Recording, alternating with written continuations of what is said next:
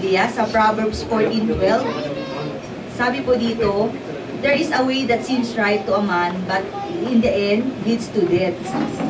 Sabi po sa Proverbs 19.21, Many are the plans in a man's heart, but it is the Lord's purpose that prevails.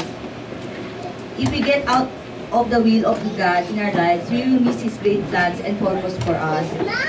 We experience, we experience pain and struggle because we cannot do things on our own, apart from God. We have a gracious, merciful, and loving Father in heaven. You will never go wrong if you trust Him and let, Him be the center of your life.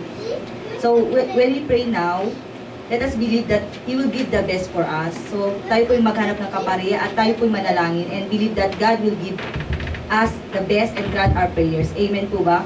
Sabi nga niya sa Matthew 18:19, ano man hilingin ah, Whenever two of you agree on earth, anything they pray for, it will be done by my Father in heaven. Amen? So, pag tayo daw po manalangin, ng God will answer at it. Amen?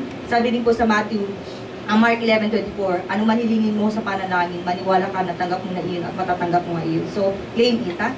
Let's have our faith talaga na talagang, Lord, I know, ibibigay mo to para sa akin. Amen? So, tayo po'y manalangin.